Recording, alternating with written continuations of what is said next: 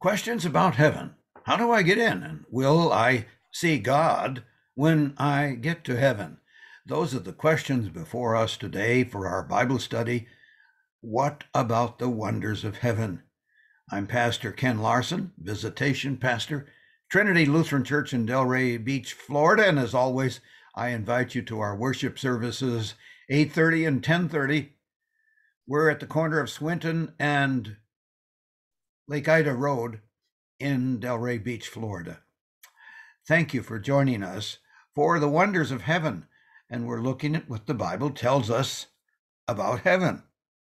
I think a lot of people are interested in what happens after I die. Or there are another there's another group of people who say I don't even want to go to think about that yet. I'm not ready to think about uh, heaven yet. Okay. Uh, whenever you get interested, we're here for it. And you can you can always watch this because it's posted on YouTube. I don't know how long it's going to be there. So the question is, how do we get into heaven? And we started last week by proclaiming the wonderful news that we were not made for death. Jesus shared in our humanity. He took death for us. So, point number two to go on from there is an answer to a question that people have and sometimes they're afraid to ask Lord, will only a few be saved? It's kind of a, a haunting question. There's many people in the world who have different answers to that question. And I wonder if you remember how Jesus answered. Do you? Okay. Here are four possibilities. Is this correct? Everyone will be saved? No one will be saved? Most people will be saved. Only a few will be saved.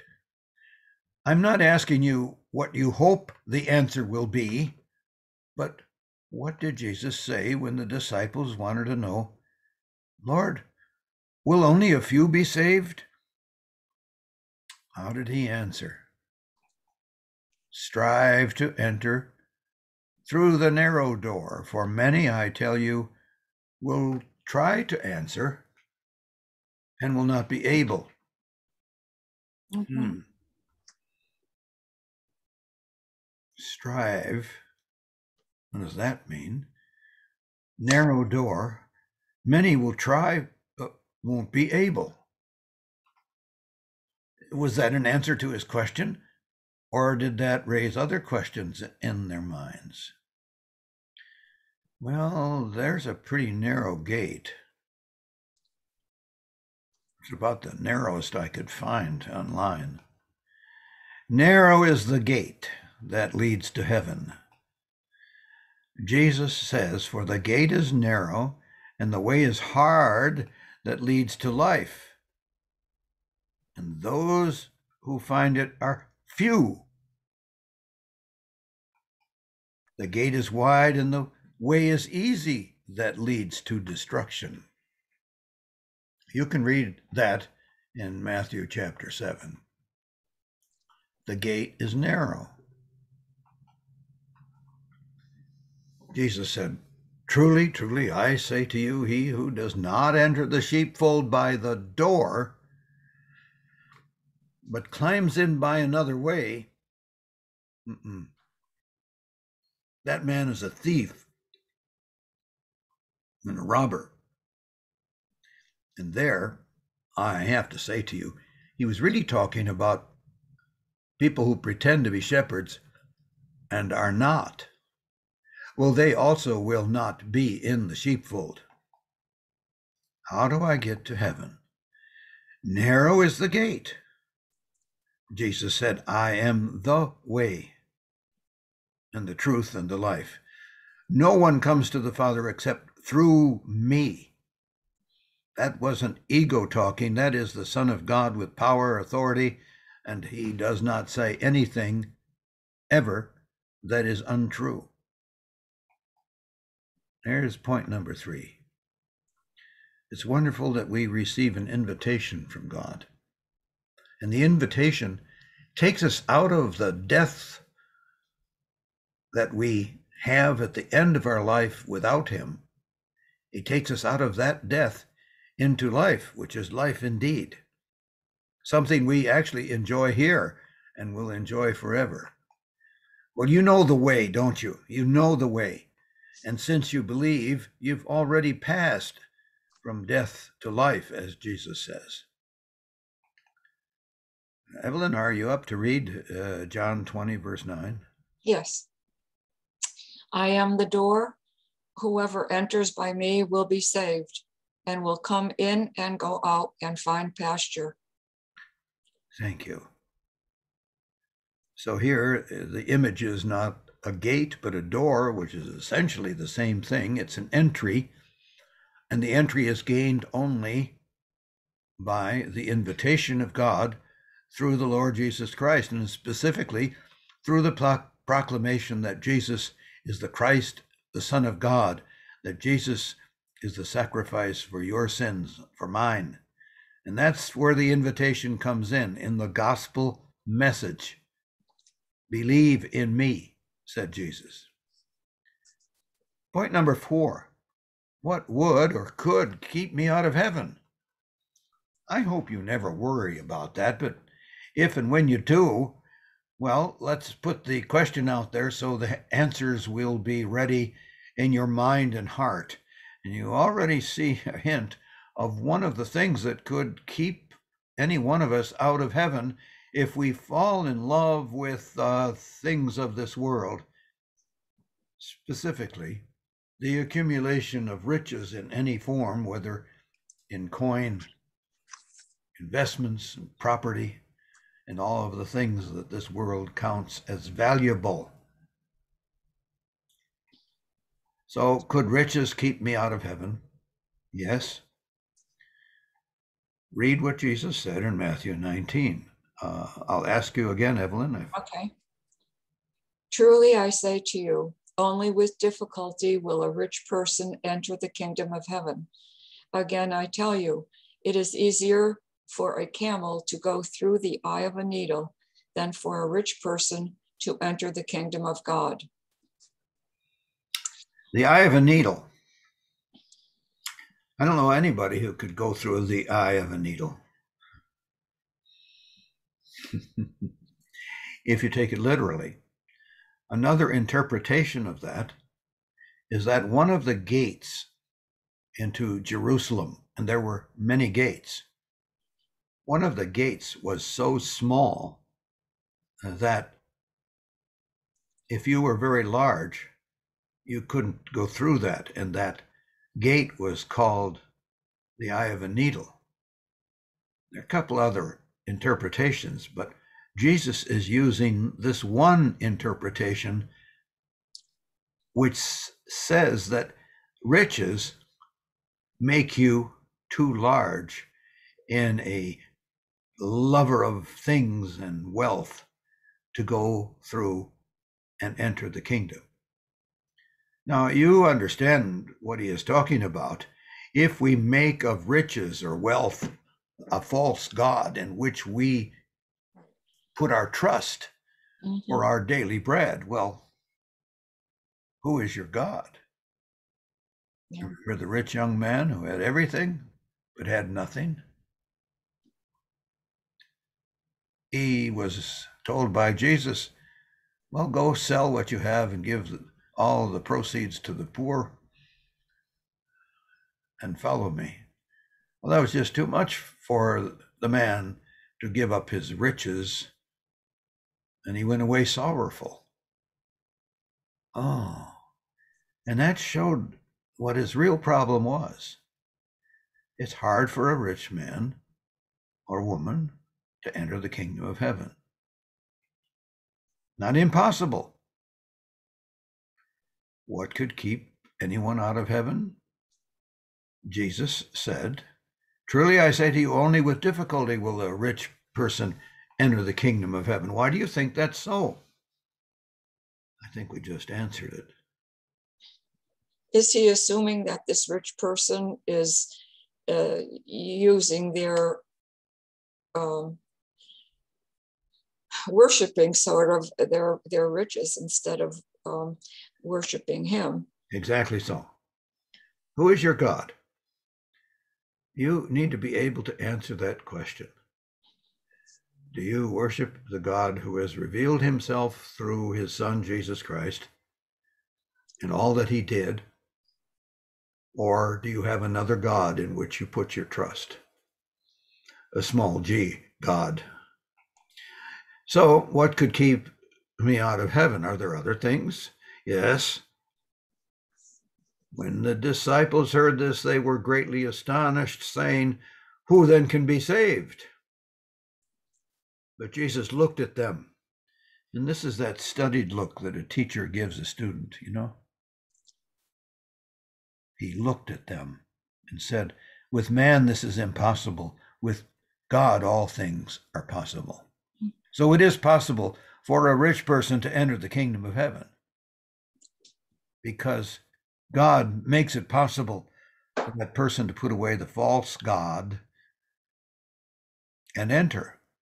Now, I must say this that if you have been richly blessed, according to whatever standard you're using, it doesn't in itself keep you out of heaven. You can possess and still be possessed by the Lord as his child, as his trusting one who knows the source of all good things and then is not troubled by it. This morning, someone sent me, among other Bible passages, uh, I believe it was Proverbs 10:20, and it, and it tells us that Uh, wealth is okay, and when God gives wealth, it doesn't necessarily lead to trouble. And that's a good thing to remember. And also this wealth is a relative thing. God does not, does not measure things as the world measures things. The word million, I'm probably not talking to any millionaires today. But having a million dollars in wealth does not in itself keep you out of heaven. I think I've made that clear. Well, what else could or would keep anyone out of heaven? This is the one you might hope that I wouldn't bring up because you you could put away your wealth, you could put away uh, going in by other doors, but uh, continuing in sin without repentance and I underlined and italicized continuing in sin because we all daily sin and need God's forgiveness. But if we continue in sin, there's a very long Bible passages in, in Galatians 5. Let me read that. it takes, uh, so you have to take a deep breath because it's so long. now, though works of the flesh are evident, sexual immorality, impurity, sensuality, idolatry, sorcery, enmity, strife, jealousy, fits of anger, rivalries, dissensions, divisions, envy, drunkenness, orgies, and things like these. I warn you, as I warned you before, that those who do such things will not inherit the kingdom of God. Uh, that's a pretty inclusive list. Paul in Galatians 5 is contrasting the works of the flesh with the fruit of the Spirit. And he is counseling us to walk by the Spirit instead of by the flesh. Now, the flesh is that part of us that still wants sin, sins like these. So, the works of the flesh are those things that we do or think or have when we are following not the spirit which teaches us teaches us to do right but our flesh the old Adam, sometimes called. The works of the flesh are evident, and I know, and you know, that when you look in the world, you see all of these, all of them. The television and the internet have brought these face to face with those of us who are trying to walk by the Spirit. When you walk by the Spirit, you are moved by the Spirit to do what God wants. All right, so you now see the contrast between the two walks. Let me say it even more clearly. The Christian wants to walk by the Spirit, and yet sin's temptation comes in and wants us and tempts us in things like these. So that's why Paul lists them so that people don't walk by these things that would keep you out of heaven if you continued in them without repentance. Let me say it even more clearly. If you are indulging, involving yourself in sins like these, and you refuse to stop, you make no effort to stop, you don't want to stop, then there is no repentance. And though you know about forgiveness, that's withheld from you. So, this is a warning to us. If you find yourself here in this group, get out. Ask the Lord in prayer, in repentant prayer, to be the one who leads you out. I don't want to go in any deeper today, but remember, this is if you continue in sin, because there is no one without sin. I think most of our sins are sins of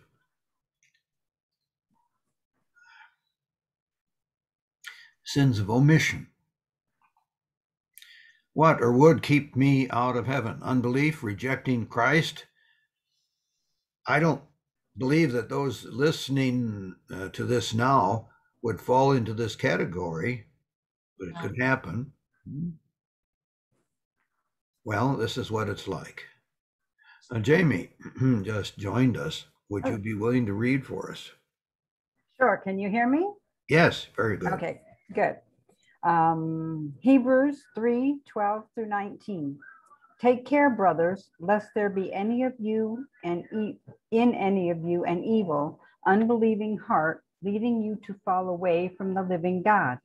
But exhort one another every day, as long as it is as it is called today, that none of you may be hardened by the deceitfulness of sin.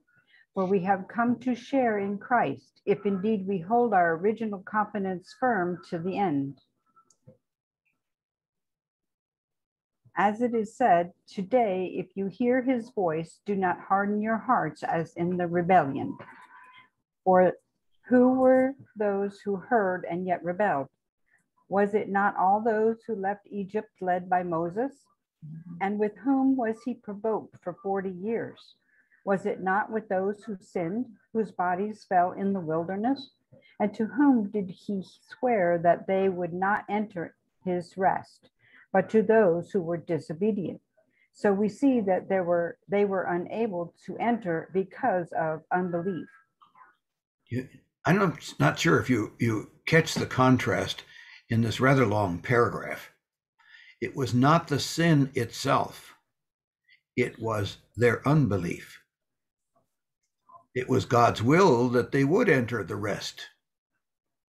But they were disobedient and they did not believe in the one who was leading them. I don't, I don't mean Moses.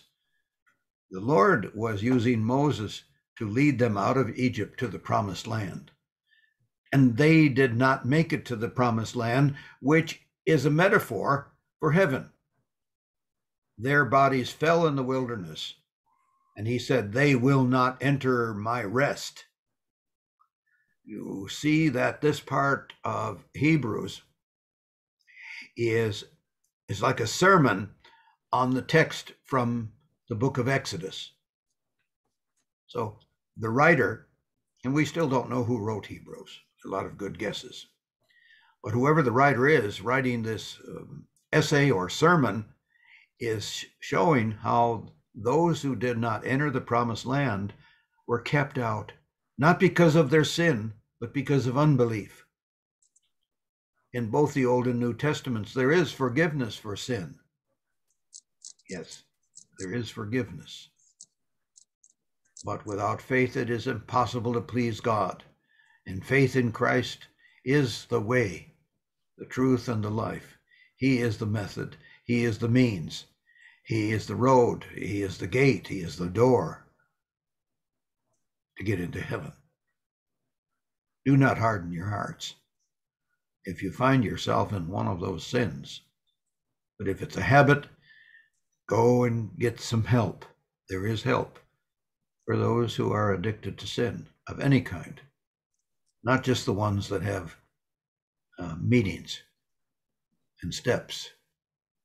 There are many addictions, and not all addictions are given those steps. The step is repent and believe. Well, that's a great tangent, but we're not doing that today. How do I get into heaven? I want you to, to know and believe and take hold of this promise. Evelyn, would you read, please?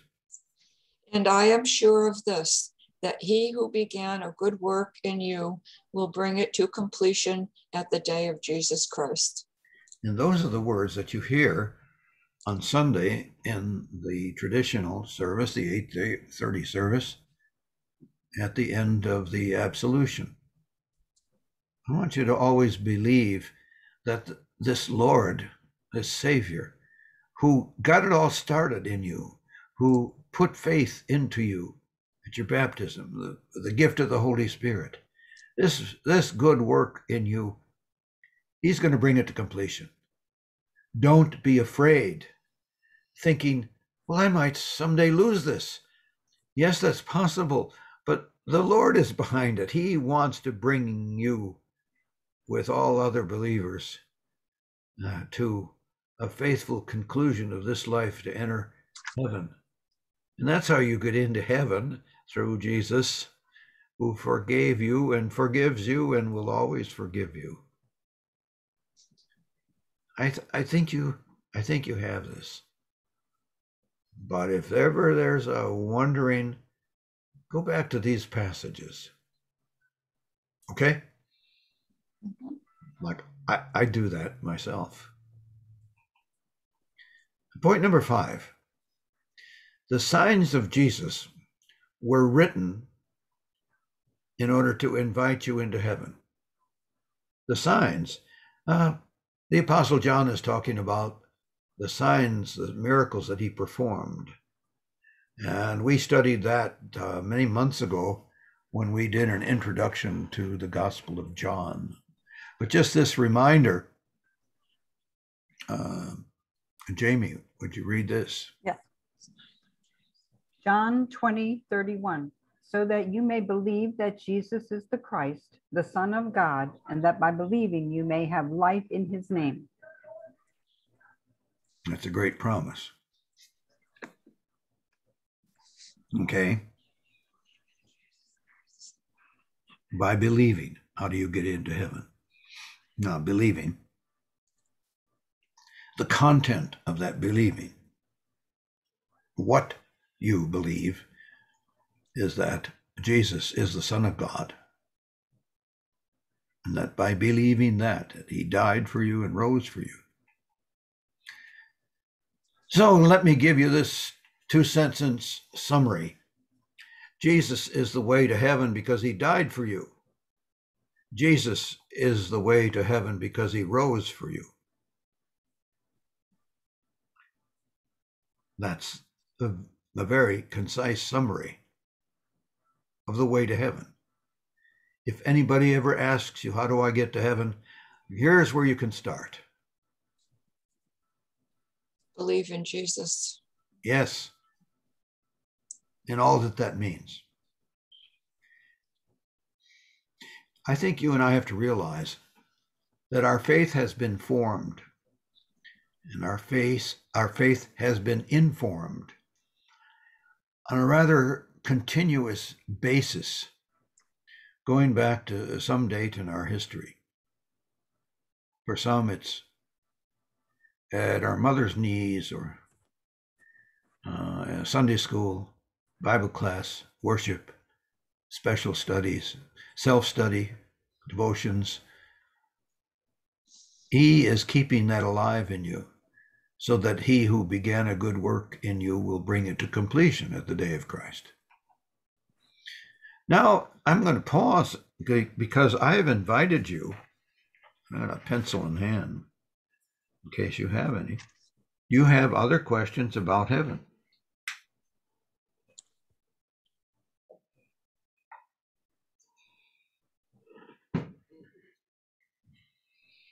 Well, I wonder if we will see, if we'll be able to ask questions when we get there, uh, you know, about the things we've always wondered about. Uh-huh. Um, you know, yeah, how things how things work and and and why they work that way and and mm-hmm. is it true how the world you know not true but um does mm-hmm. science and and god's plan come together do they do they uh-huh. are they in agreement okay you know if god is the author of all knowledge that is really true knowledge then he can bring about a, uh, can I call it a reconciliation between the the science and religion debate Jamie, I have a short answer that is just rather a comical thing, a humorous, is that uh, when a person asked a pastor this question and that question and this question and that question, he said, when you get there, I want you to stand in line to get those questions answered. And let me warn you ahead of time, it's going to be a long line. I'm sure it will be. I'll, I'll then give you a, a, I think, a more comforting answer. And that is many things that we wonder about now won't matter. Hmm. They they will dissolve into either, well, now I understand, or I really don't remember have having those questions. Uh, or if I do, uh, hmm in the glory of heaven, I don't see why I would ever want to know that. If God keeps things from us and it bothers us now, I'm pretty confident it won't bother us then. Do those two smiley face answers help you? Well, yes and no. Okay. Um, no, because um, so what you're saying then is when we get to heaven, we'll have no curiosity? Oh, curiosity, a natural human thing that uh, leads to un- innumerable questions, science questions about the way the body works. You've studied that, okay. and you still don't know the answers. Right. You know, uh, uh, this, this fellow Crick and his partner who discovered the chromosomes and so forth, uh, and and have, and since then have mapped it out. That begins to answer questions, but it raises thousands of other questions. Mm-hmm. So that knowledge keeps peering into the darkness. Listen, I don't know whether you how much you know about me, but I am a lover of science. I want to know and I'm on the internet all the time asking questions. I have some about heaven. So if that's a burning question, ask him now in prayer, and I'm not being facetious. And then, uh, like the lecturer sometimes says, would you would you all hold your questions until I'm through with the lecture? And then at the end of the lecture, you say, Well, I, I think he answered that. And uh, the real answer that I have for your question is I don't know. Mhm. It, Well, we I- won't know. I'm not sure that I can find a Bible answer to the question of will I get my questions answered then? I've done the best I could. It's not one of those that I plan to put on the slides in next week or two. Pastor, um, Jesus said that uh, in in my Father's house there are many mansions. Um, are there any other places in the Bible that Jesus describes heaven? Um, Yes. I, I don't know what they are.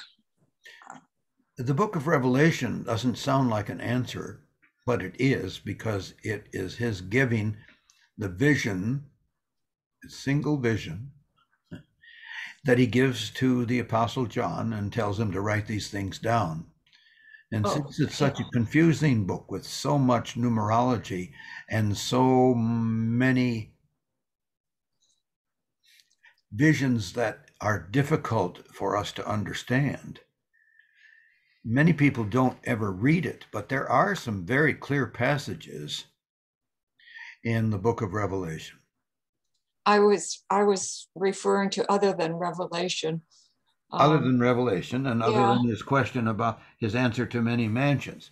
Uh, yeah, when Jesus when Jesus was on on the earth mhm. when he was here, Okay, when he was teaching.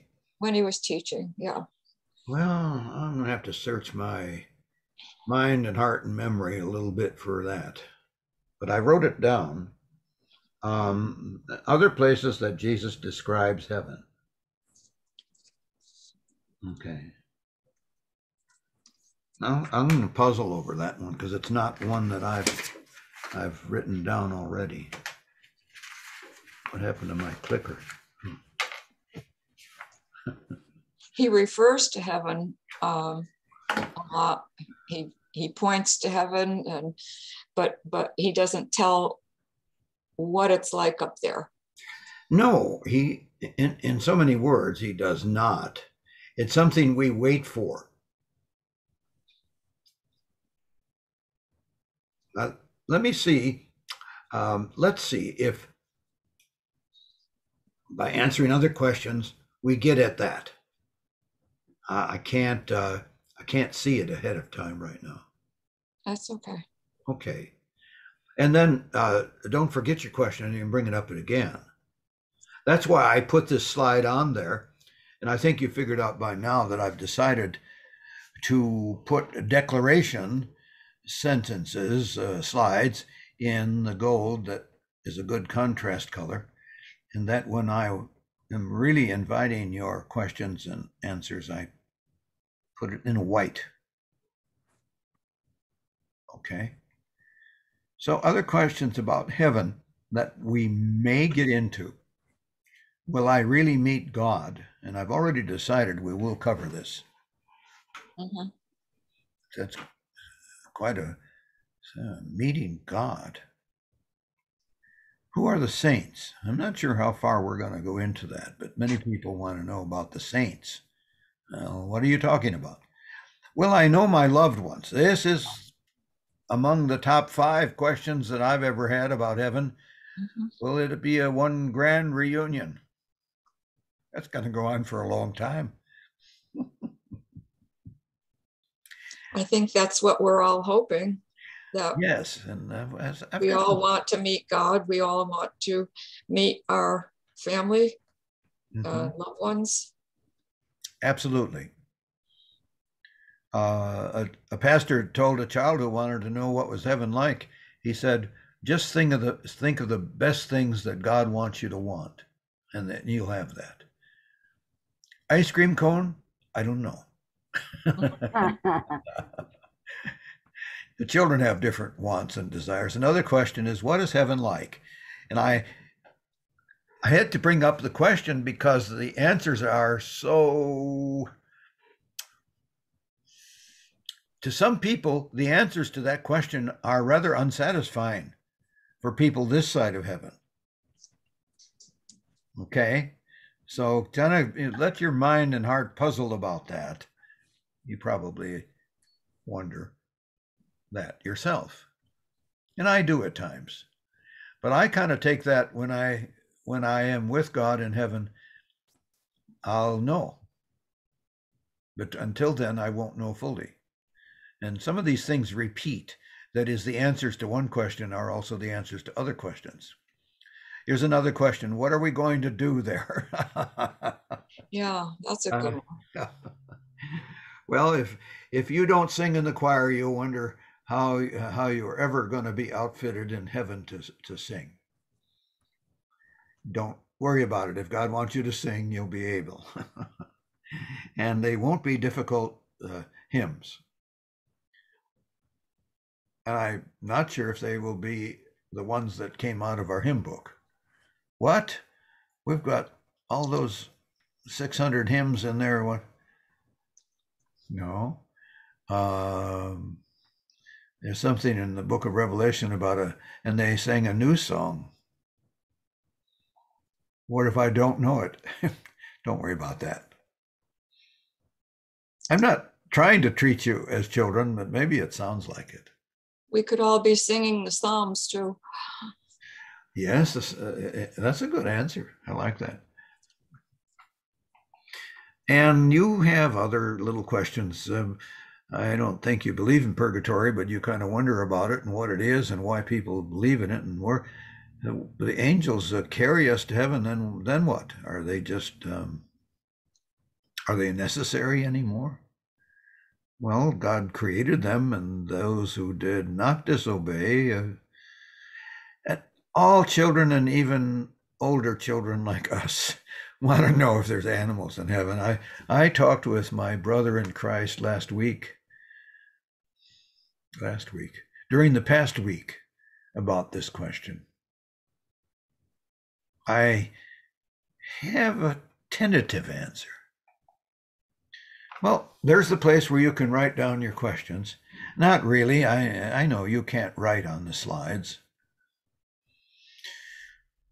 Oh, well, just write them down. When you think of things as we go along, uh, write them down and uh, you can send them to me, a text message or an email, or just talk about them here when we gather.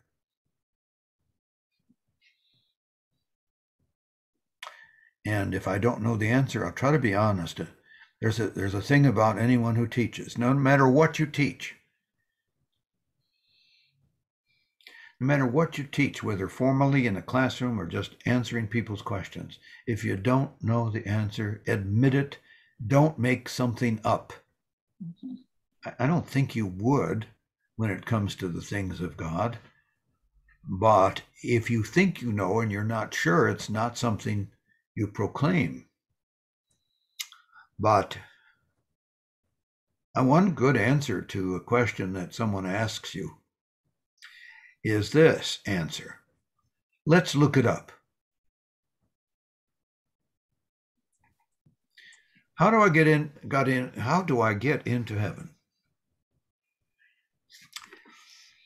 Hmm. And well, we answered that today, but I want you to look at this paragraph. An old Norwegian catechism describes Earth as an island colony to which God sent us for a limited time. Then it has God telling us the greatest danger is that you fall in love with this island so that you will not care to return to the home kingdom. Love the island because it is my possession. But do not love it because it is your home. It is not your home. Your home is here with me. Is that helpful? Yeah, I like that. Mm-hmm. Yeah. That's very, it's very, um, very clear. That's uh, comparing comparing the island is to the earth and earthly things. Yeah. Yeah. God created us and put us here to spend a short time before we went back with Him.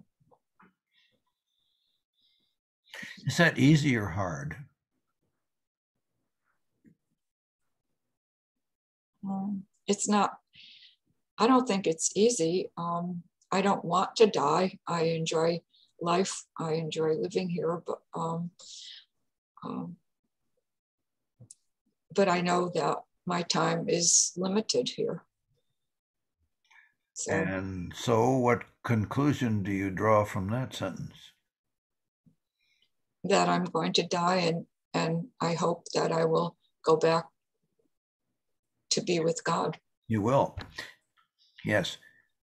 So, because your time is limited, this is a hard lesson for me, Mr. Procrastinator, Mr. Easily distract, distracted person, um, AADD. um, it's a weakness. I have so many things I want to do. Yeah, we all do. And there's not enough time to do it. I'm not talking about the things we have to do. I know. I, I I don't have time to do the things I want to do. I know. I'm in love with this island to some extent. And when I tell my doctors I love life, Mhm. I'm giving them an assignment to, to do what they can to keep this going, Yeah, but they're not in control. The good ones know it. All right. Love not the world, neither the things of this world, for this world and the form of it or the things of it are passing away, said Jesus. Wow. I can't say it better than him. You see? Um, I've been blessed. Jeannie and I are richly blessed.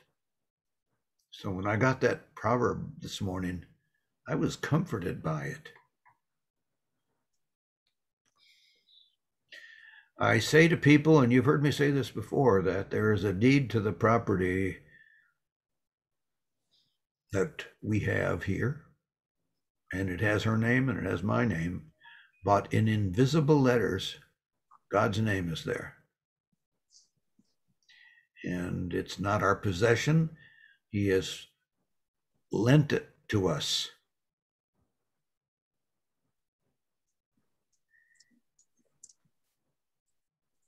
And uh, we have poured a lot of ourselves into it for 41 years.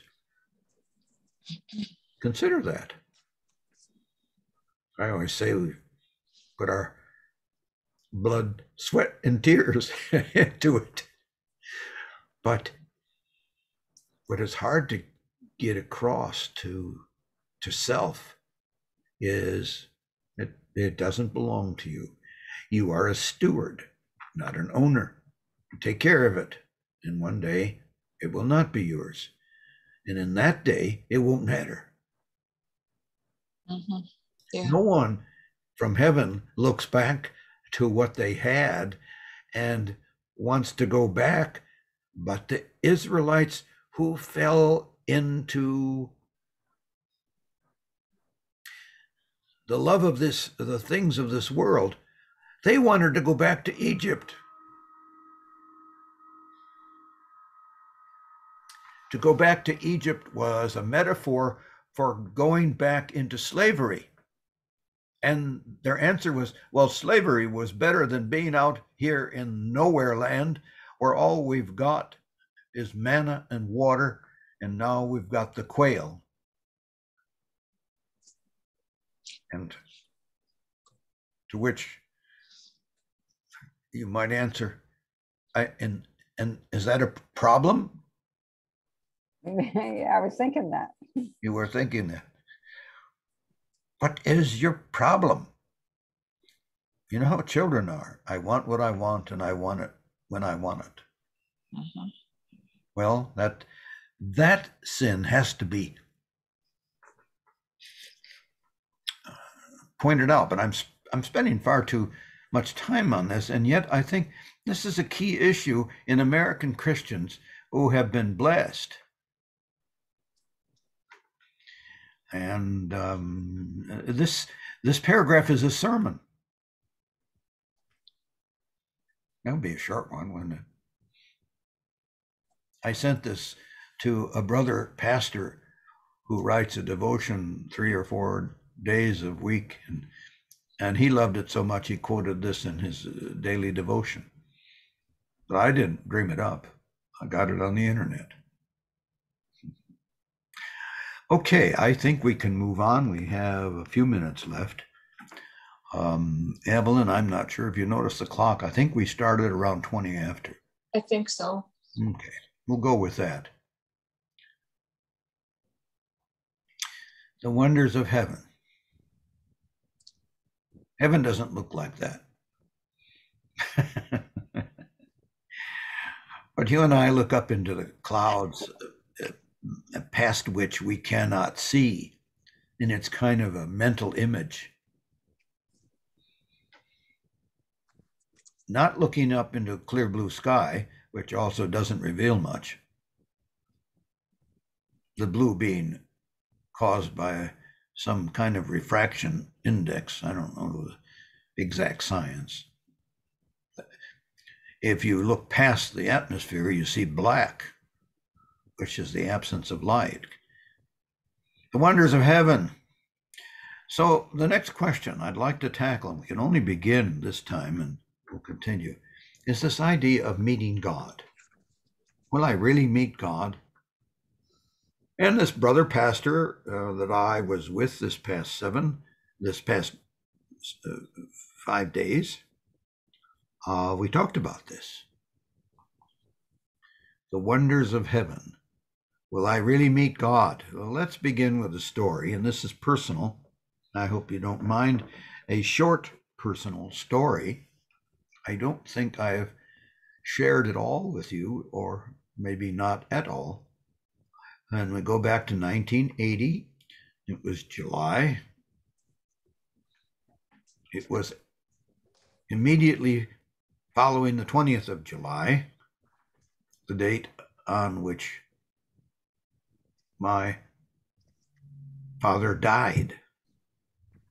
I had seen him two weeks earlier and I, I thought he was getting better. And we got uh, uh, we re- uh, finished worship and picked up the phone to call, and the nurse answered.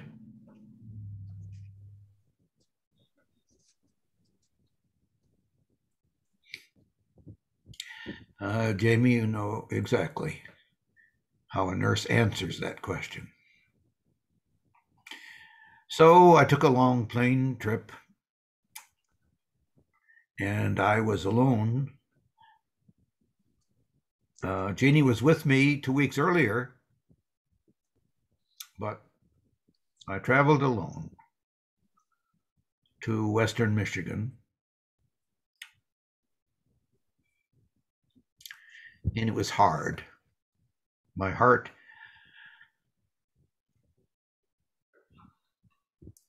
It was a grief of regret of not having spent more time with him. I would, if I knew he was going to die, would not have gone home earlier. Mm. But now I had to go back to a funeral.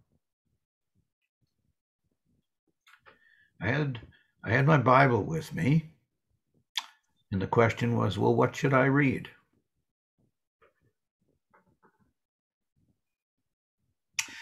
I turned to Ecclesiastes and I had time to read all 12 chapters. Don't know why I picked Ecclesiastes. It wasn't because my dad was as rich as Solomon, or from it. And it gave me a view of life not being satisfied by the things of this world. It was not because I was going to be called on to do the sermon No, my uh, my friend and fellow classmate who had ministered to my father in the hospital when he was awake told me about my father's confession of faith in Jesus.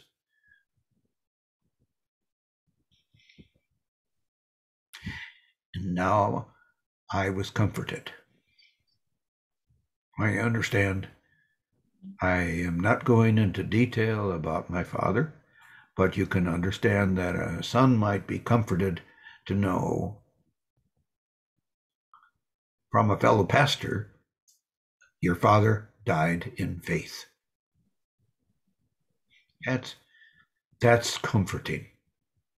And uh, my friends, I want you to have that comfort about your loved ones so that when they die, you have grief, but not without hope. So, how does this uh, meet up with the question will I really meet God? Well, let me answer it um, the long way around by saying, Well, did you ever take a long trip when your heart was crushed by grief or loss?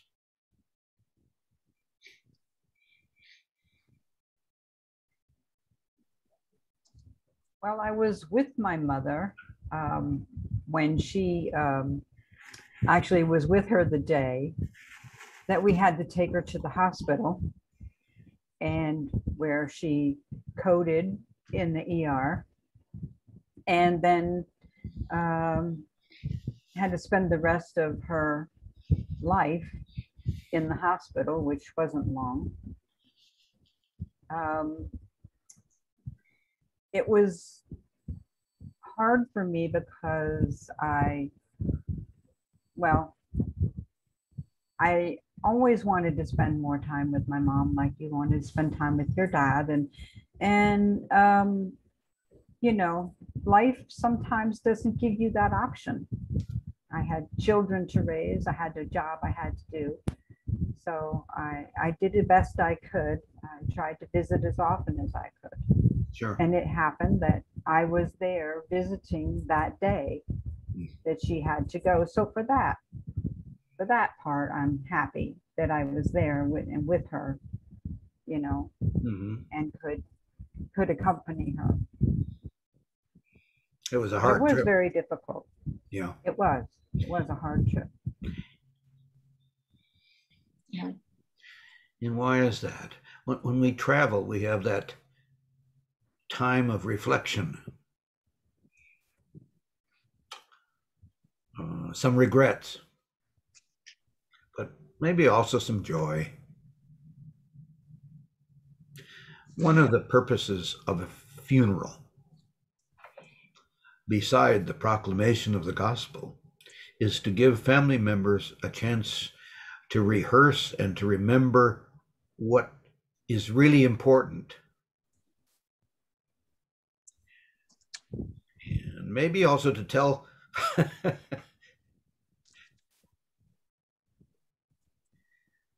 uh, I'm just going to call them funny family stories.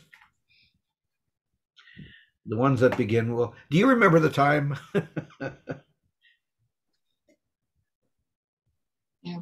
I was on a plane hoping to get back to Connecticut when I got a call saying that my mother was dying, hoping that I could get to the hospital ER in time.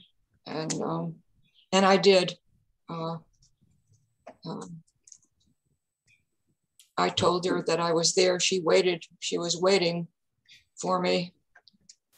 Um, I've, I've told, I told this story several times before, but she said the angels came to, the men came to get her, to, to take her. And she said, could you please wait until my daughter gets here? Hmm. And they said yes. Oh, And um, so I got there and held her hand and I said, I'm here now. And um, and I walked out of the room and uh, Mhm. they gave her a needle for pain. And she passed. Yeah. That's that's a great witness, a good story. I thank you for, for sharing, and I hope you accept my sharing of my story. I did not get there when my mother died, and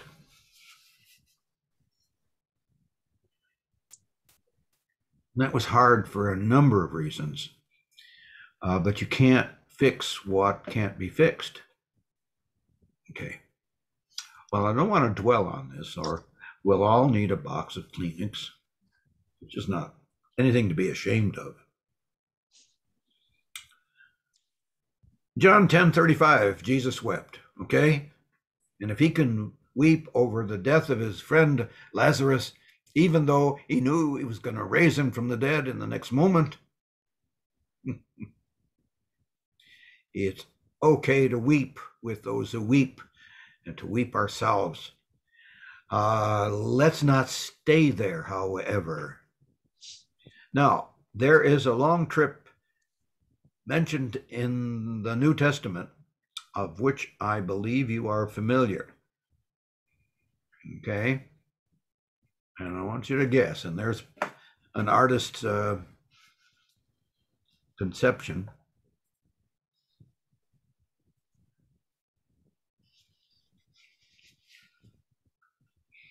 What what um, what Bible passage do you think that's from? Uh, I don't know. Sorry. That's all right. I I want to introduce you to to this. It's one of my favorite stories. I don't like to call them stories, but let's get past that. It is in Luke chapter 24. Okay. There is Cleopas and his friend, and they don't know the man who is between them. They don't know who he is. The friend's name is not mentioned. Neither one belonged to the 12 apostles, the 11 that are left after the resurrection. And before you can go on, you have to stop and read Luke chapter 24, 11 through 35. I'm puzzled how I'm going to bring this to you because putting 13, 35, 20, uh, 23 verses on the screen, um, that's a lot, see? So, so that's not the way we do it. We do it another way. We do it uh, this way. Okay. So now you know where we're where we are, and um, and you can see that, right? Yes, Yes. Clear words. yes. Now I suppose that we could say, read till you run out of breath. uh, let me save your voice and that very day, and this is the day of the resurrection. This is Easter Sunday, as we call it. Oh, That- That very day, two of them were going to a village named Emmaus. Now, forever and after, these are often called the Emmaus disciples. About seven miles from Jerusalem, and they were talking with each other about all these things that had happened. While they were talking and discussing together, Jesus himself drew near and went with them. But their eyes were kept from recognizing him. And he said to them, What is this conversation that you are holding with each other as you walk? And they stood still, looking sad.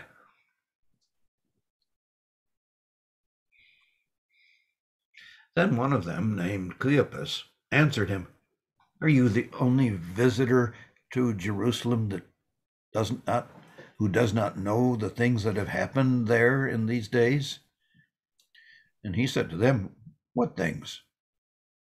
And they said to him, Concerning Jesus of Nazareth, a man who was a prophet, mighty in deed and word before God and all the people, and how our chief priests and rulers delivered him up to be condemned to death and crucified him. We had hoped that he was the one uh, to redeem Israel. Yes, and besides all this, it is now the third day since these happened. Moreover, some women of our company amazed us. They were at the tomb early in the morning, and when they did not find his body, they body they came back saying that they had even seen a vision of angels who said that he was alive. Some of those who were with us went to the tomb and found it just as the women had said, but him they did not see. And he said to them, O foolish ones, and slow of heart to believe all that the prophets had spoken. Was it not necessary that the Christ should suffer these things and enter into his glory? And beginning with Moses and all the prophets, he interpreted to them in all the scriptures the things concerning himself. So they drew near to the village to which they were going. He acted as if he were going farther, but they urged him strongly, saying, Stay with us, for it is toward evening, and the day is now far spent. So he went in to stay with them. When he was at table with them, he took the bread and blessed it, and broke it, and gave it to them. And their eyes were opened, and they recognized him, and he vanished from their sight. They said to each other, Did not, did not our hearts burn within us while he talked to us on the road, while he opened to us the scriptures? And they rose that same hour and returned to Jerusalem. And they found the eleven and those who were gathered with them together saying, The Lord is risen indeed, and he has appeared to Simon. Then they told what had happened on the road and how he was known to them in the breaking of bread. Well, hmm. that's a great story. Yeah. Uh, of what happened on Easter Sunday, beside the things that you are more familiar with. And I urge you to go and pick up your Bibles during uh, the week that follows and and read for yourself a little slower maybe and ponder uh, ponder what is going on how Jesus revealed himself to Cleopas and the friend and how that applies to our question will I really meet God? Because here indeed are two disciples who thought he was dead but now they have found him very much alive and glorified. How else could he vanish from their sight instantly? Don't try to find an answer to that question. It's not there. That they met God in the flesh, and now they knew that the resurrection was true. I think there's great humor in that story. that must have been that must have been so breathtaking for them. Oh, you know. Yes. Jesus yes. appeared to us. To us, who are we? You know. That that would have been such an amazing thing. Takes your breath away. We he came to us.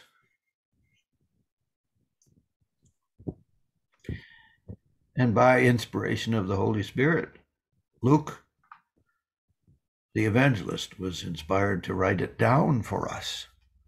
God wanted us to know this.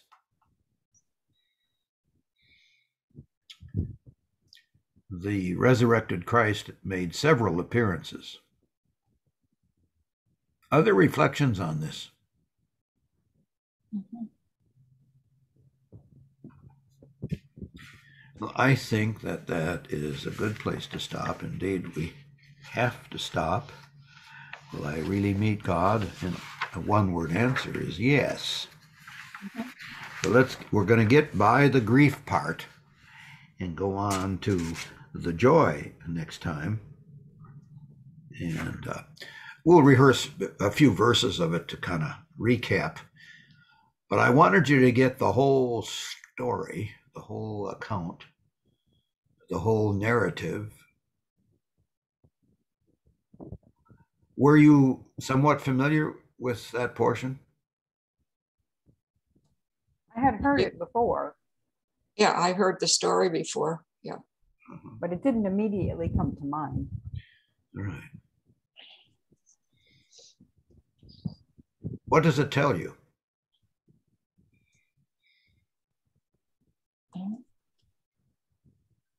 Jesus, Jesus made himself known to uh, to the disciples, and um, I believe that we're going to see him. He, he showed himself, so to them, so he's going to show himself to us. Good promise to remember. Thank you. Yeah.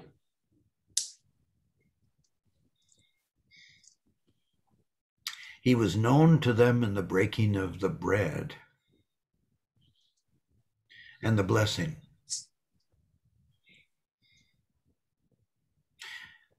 When it when the account says their eyes were kept from recognizing him, that is God's action.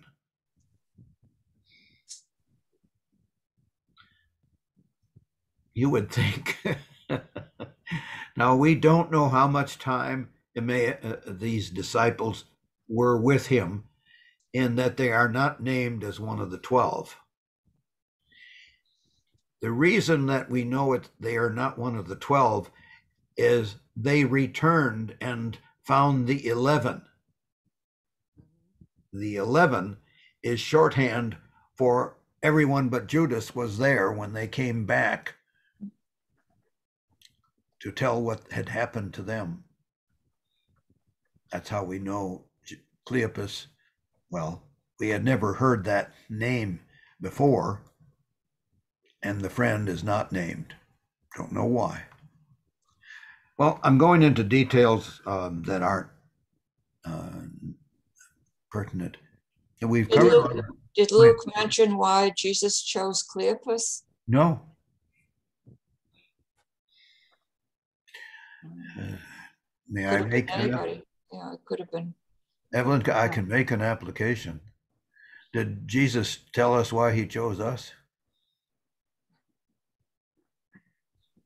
No. It was nothing in us that made him choose us, but in his divine and intentional choice. They happened to be in the right place at the right time. and that was by God's arrangement. Right. But what a what a beautiful revelation to them. Well, I will really meet God, and I'll meet you here, God willing, and some of the others that are usually with us. And uh, let's uh, let's close with a prayer about this, huh? Oh, Jesus, revealing yourself to those you have chosen and choosing those to whom you will reveal yourself. Give us comfort in the promise of the resurrection and in the promise that indeed you are the way to heaven, and upon our death we will meet you. We will know you, and we will want to be known. Thank you, Lord, for this comforting promise of resurrection which we apply please lord not only to us us but also to those that we have placed in a grave those we remember and those you have given us in the past to love as we are loved by them.